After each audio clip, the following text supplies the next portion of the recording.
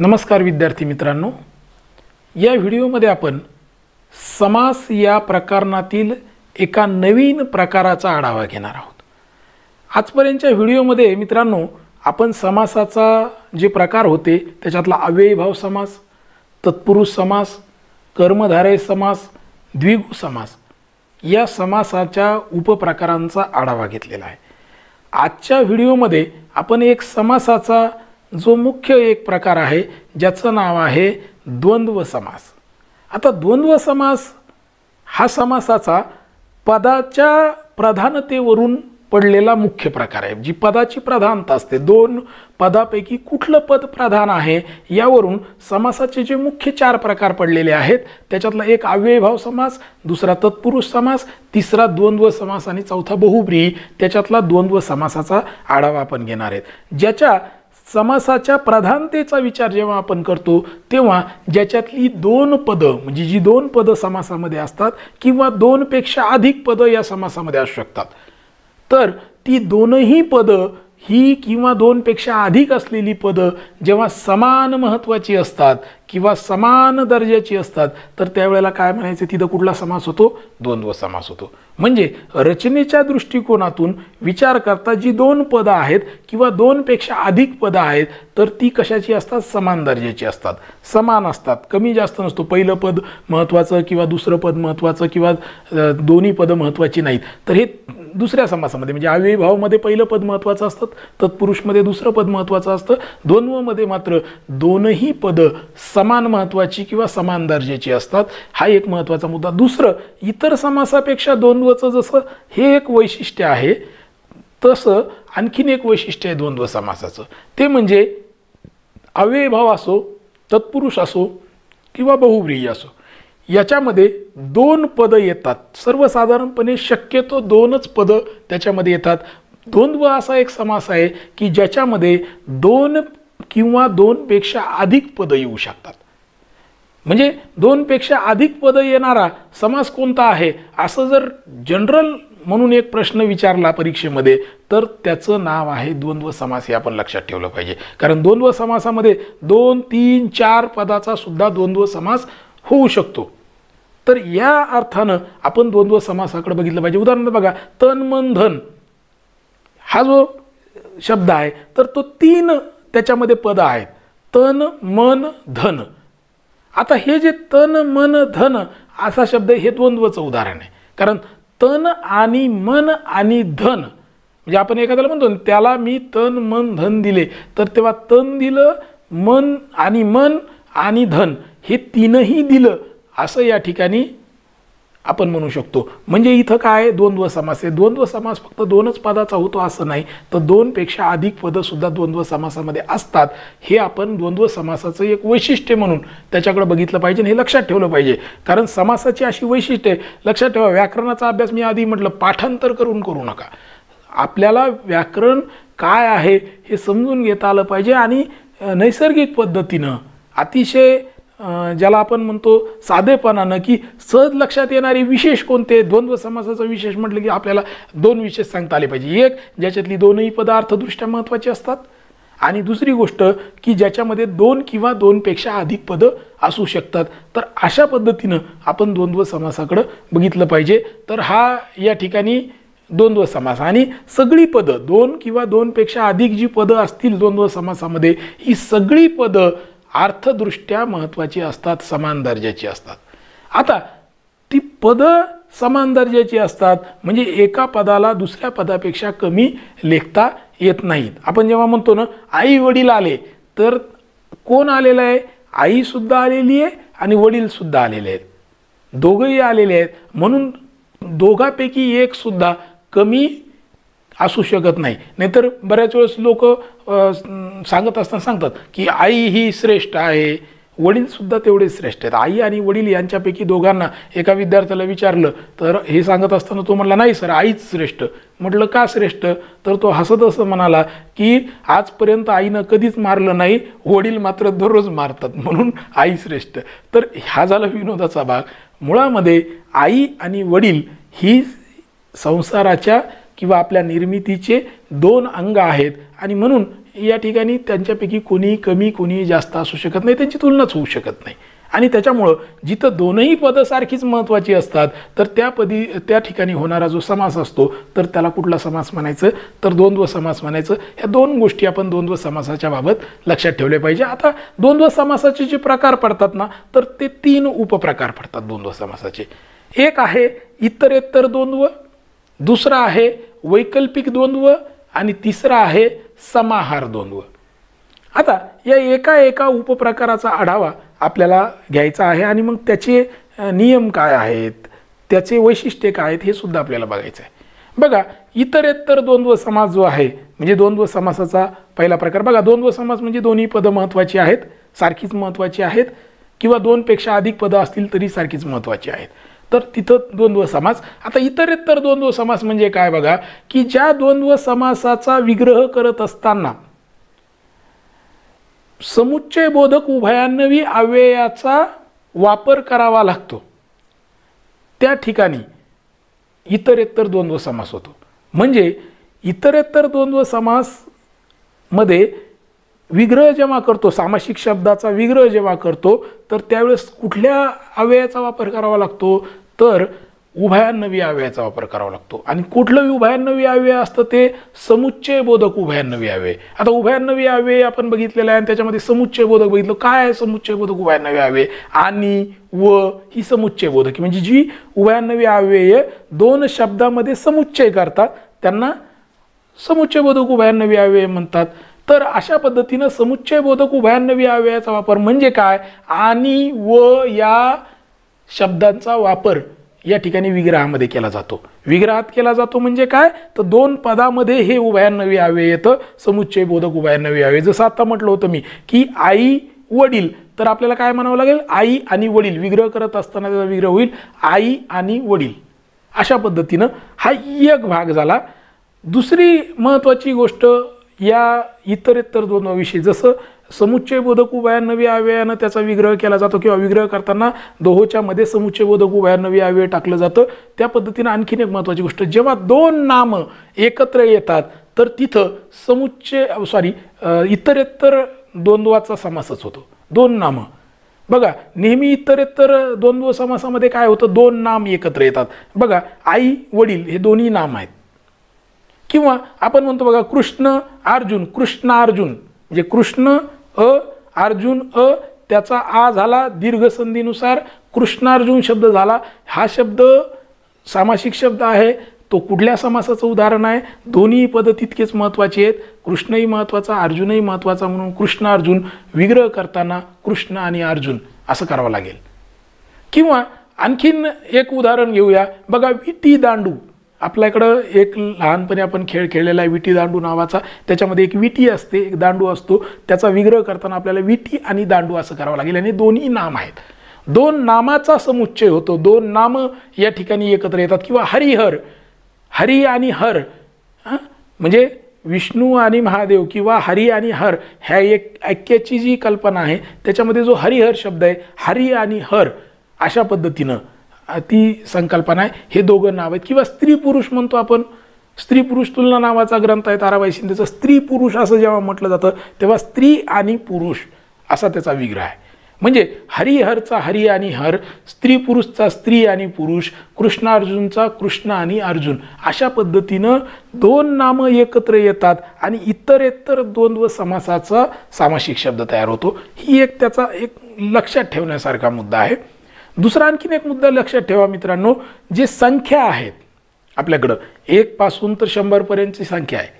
आता या संख्यामधल्या काही संख्या जर दहा वीस तीस चाळीस पन्नास साठ सत्तर ऐंशी नव्वद शंभर जर सोडल्या आणि नऊचा पाळा जर सोडला एक ते दहा सोडून द्यायच्या अकरापासून स्टार्ट करायचा अकरा ते शंभर याच्यातल्या दहा वीस तीस सोडून द्यायच्या आणि एकोणीस वी एकोणतीस एकोणचाळीस एकोण नऊ नऊ येणारा शेवटला जे ते संख्या सोडून त्याच्या बाकीच्या ज्या संख्या निर्माण झालेल्या आहेत तर त्या काय आहेत? तर त्या समासाची उदाहरणं आहेत. उदाहरणार्थ एकवीस. एकवीस म्हणजे काय? एक आणि वीस. आता संख्या जेव्हा इतर इतर द्वंद्वामध्ये येतात तेव्हा एक कधीही लक्षात ठेवायचं की छोटी संख्या आधी येते. मोठी येत नाही. वीस एक नाही.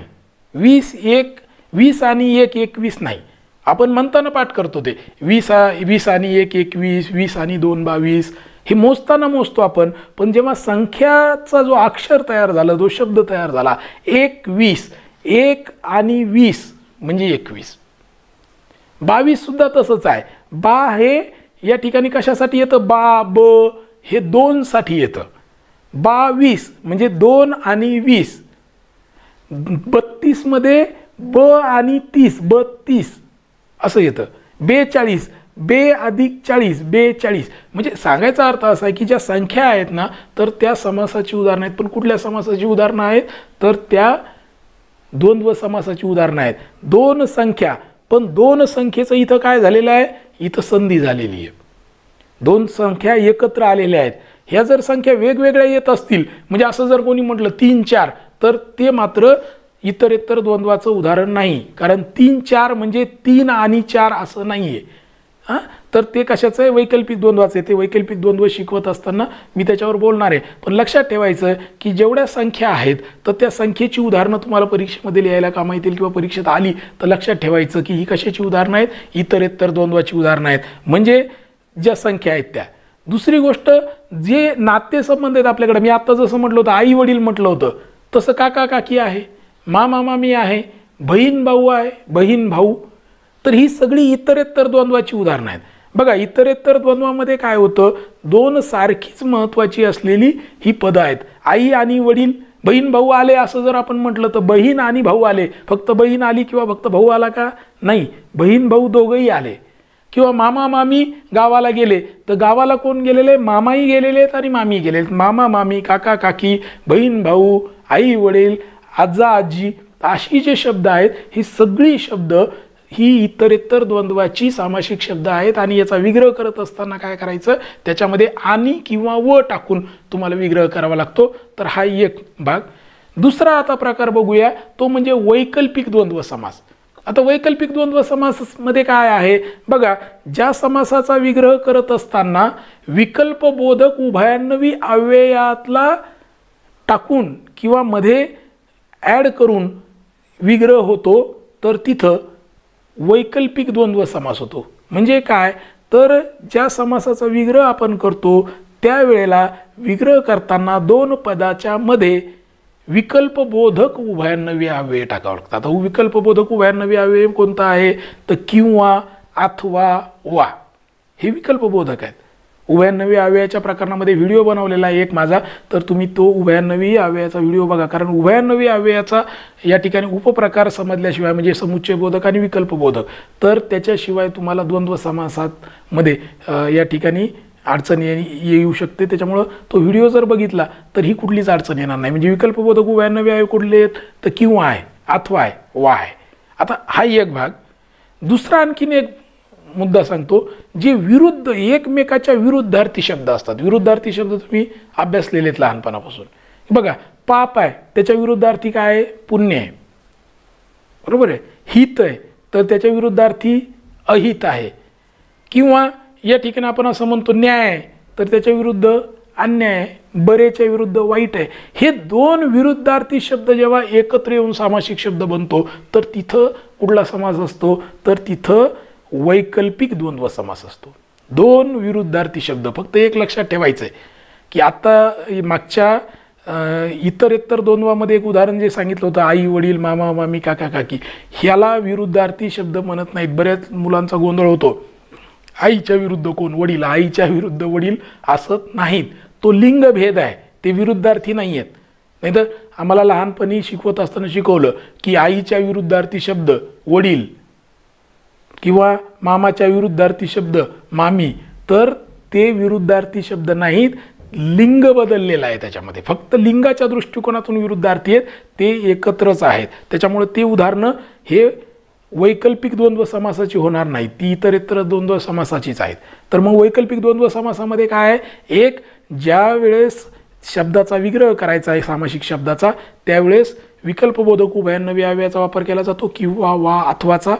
आणि दुसरा एक मुद्दा सांगितला होता लक्षात ठेवण्यासाठी की जे विरुद्धार्थी शब्द असतात ते जर एकत्र आले सामासिक शब्द बनला त्याच्यापासून तर ती शक्यतो या ठिकाणी उदाहरणं कशाची असतात? तर ती वैकल्पिक द्वंद्व समासाची उदाहरणं असतात. उदाहरणार्थ बघा पाप पुण्य. आता इथं पाप आणि पुण्य आहे का नाही? पाप किंवा पुण्य. म्हणजे पाप किंवा पुण्य कारण दोन शब्द हे वेगवेगळे आहेत. तर पाप पुण्याचा हिशोब होईल म्हणजे पापाचा किंवा पुण्य. पाप किंवा पुण्य. धर्माधर्म. धर्माधर्मामध्ये काय झालेलं? दोन शब्द एकत्र आले. धर्म अधर्म. धर्म आणि अधर्म एकत्र आले म्हणून धर्म किंवा अधर्म. म्हणजे विग्रह करताना काय होईल? पाप किंवा पुण्य धर्म किंवा अधर्म किंवा न्याय अन्याय. न्याय आणि अन्याय या दोन पदांपासून न्याय अन्याय असा शब्द बनला. न्याय अन्याय बरोबर काय? तर न्याय आणि अन्याय. न्याय किंवा अन्याय. न्याय आणि अन्याय होणार नाही. न्याय किंवा अन्याय. किंवा बरे वाईट बरे किंवा वाईट खरे खोटे आपण म्हणतो ना आपण खरे खोटे करूया. आता खरे खोटे करूया म्हणजे खोटेही होईल आणि खरंही होईल का नाही त्या दोन्हीपैकी एकच होणार आहे. गेल्याच्यानंतर एक तर ती गोष्ट खरी असेल किंवा ती खोटी असेल. म्हणजे खरं खोटं करणं म्हणजे काय? खरे खोटे करणे म्हणजे काय? तर खरे किंवा खोटे करणे किंवा सत्य असत्याशी मन केले ग्वाही नाही मानिले नाही बहुमता. असं तुकाराम महाराजांच्या भागातलं एक विधान आहे. आणि त्याच्यामध्ये त्यांनी सत्य असत्य असं म्हटलेलं आहे. सत्य किंवा असत्य असा तो शब्द आहे. सत्य किंवा असत्य आहे. आपण सत्य असत्य शोधलं पाहिजे. तर सत्य आहे का असत्य आहे हे शोधलं पाहिजे. हां? सारा सार विचार करा उठाउठी तरावया कंठी बहु सिंधू याच्यामध्ये सारासार शब्द आलेला आहे. सार आणि आसार सार किंवा आसार सार काय आहे आसार काय आहे? सारच घ्यावा लागतो आसार टाकून द्यावं लागतं. तर त्या पद्धतीनं दोन्हीपैकी एकच नाही तर सारा सार दोन्ही घेऊन टाकायचं असं नाही आहे तर सार घ्यायचा आसार काढून टाकायचं सार किंवा आसार म्हणजे दोन्हीपैकी एकच चॉईस आपल्याला असते. म्हणून या ठिकाणी जे होईल तर तो वैकल्पिक द्वंद्व समास वैकल्पिक द्वंद्व समासामध्ये विग्रह करत असताना किंवा अथवा वा तिन्हीपैकी कुठलाही शब्द टाकला तरी चालू शकतो. आणखीन एक जे मी सांगितलं होतं संख्या जी बनलेली असते ती इतर इतर द्वंद्व समासाचं उदाहरण आहे. पण दोन स्वतंत्र संख्या जेव्हा एका समासामध्ये येऊन त्याचा सामासिक बन शब्द बनतो तेव्हा ते मात्र वैकल्पिक द्वंद्व समासाचं उदाहरण असतात. उदाहरणार्थ तीन चार. आपण म्हणतो मी तीन चार भाकरी खाल्ल्या. तीन चार खाल्ल्या म्हणजे तीन किंवा चार खाल्ल्या. तीन आणि चार नाही खाल्ल्या. तीन आणि चार म्हणजे होतील तर तीन किंवा चार किंवा वर्गामध्ये पंधरा सोळा मुले होती. पंधरा किंवा सोळा असतील. पंधरा आणि सोळा एकतीस नव्हती.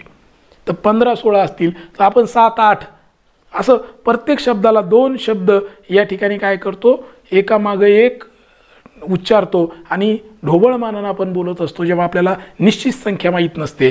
त्यावेळेला तीन चार सात आठ दहा बारा अशा पद्धतीने जेव्हा बोलतो तेव्हा त्याच्यामध्ये विग्रह करताना मध्ये किंवा अथवा वा या तीनपैकी कुठल्याही एका शब्दाचा वापर करून त्याचा विग्रह होत असतो. तर हा जो आहे तो आहे विकल्प आपलं वैकल्पिक द्वंद्व समास. आता तिसरा जो द्वंद्व समासाचं उदाहरण आहे किंवा उपप्रकार आहे तर तो आहे समाहार द्वंद्व समास. आता समाहारमध्ये बघा इतरेतर द्वंद्व समासामध्ये ॲड झाले म्हणजे एकत्रीकरण होतं दोन्हीही पदं महत्त्वाची असतात. आणि आणि वन ते जोडलं जातं. वैकल्पिक द्वंद्व समासामध्ये किंवा अथवा वानं जोडलं जातं. समाहारमध्ये समाहारचं वैशिष्ट्य आहे बघा की ज्या द्वंद्व समासामध्ये दोन पदाव्यतिरिक्त इतरही पदांचा बोध होतो म्हणजे दोनच पदं महत्त्वाची नसतात त्याच्याबरोबर अनेक पदं या ठिकाणी महत्त्वाची असतात पण त्याचा बोध विग्रह करताना होतो करावा लागतो. अगोदर होत नाही. दोन पदामध्ये दोनच पदं असतात पण दोन पदाबरोबरच इतरही पदं आहेत. तर हे जेव्हा कळतं विकल्प आपण विग्रह करतो तेव्हा तिथं कुठला होतो? तर तिथं समाहार द्वंद्व समास होतो. म्हणजे या ठिकाणी सम त्यासारखे जे इतर शब्द आहेत तेही त्या ठिकाणी येतात. त्या जातीचे म्हणा त्या गटातले म्हणा तर इतर शब्दांचा सुद्धा बोध होतो. तर तिथं समाहार द्वंद्व समास होतो. उदाहरणार्थ बघा म्हणजे आपल्याला ल- एक उदाहरण घेतल्यानंतर कळेल की कसा समास. भाजीपाला. आपण म्हणतो की मी भाजीपाला आणला. आता भाजीपालामध्ये भाजी आणि पाला तर ह्या दोन शब्द फक्त आहेत का? दोनच गोष्टी आणल्या का? भाजी आणली आणि पाला आणला? नाही. तर त्याच्यामध्ये बटाटासुद्धा येतो जो भाजी पाल्यामध्ये येतो. लसणसुद्धा येतो. कोथिंबीरसुद्धा येते. म्हणजे पालेभाज्यासुद्धा येतात वेगवेगळ्या भाज्या येतात. मग बाजार करताना जेवढाही बाजार आणलेला आहे तर ते सगळ्या वस्तूची नावं या ठिकाणी येतील की हे.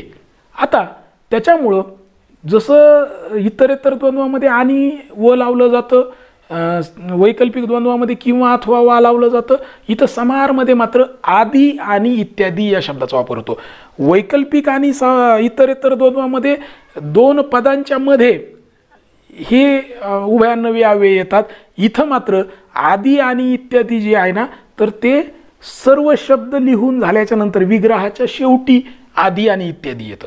म्हणजे समजा भाजीपाल्याचा या ठिकाणी तुम्हाला विग्रह करायचा असेल तर बटाटे टमाटे कांदे कोथिंबीर इत्यादी भाज्या असं तुम्हाला म्हणावं लागेल.